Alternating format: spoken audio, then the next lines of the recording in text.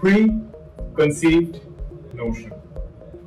আমরা যখন কোনো চাকরির জন্য অথবা ব্যবসার জন্য প্রস্তুতি নেই,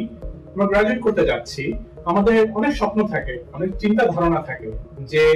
আমাদের চাকরিটা হয়তো এভাবে হবে, আমাদের ইন্টারভিউটা হয়তো একভাবে হবে। সমস্যাটা যেটা হয়ে যায় এক্সপেকটেশন ভার্সেস রিয়ালিটি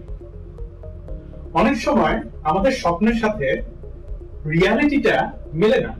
তখন আমরা হয়ে যায় ডিপ্রেসড অ্যাজিটেটেড এটা নিয়েই আমরা এই কোর্সে কথা বলব, যেখানে আমি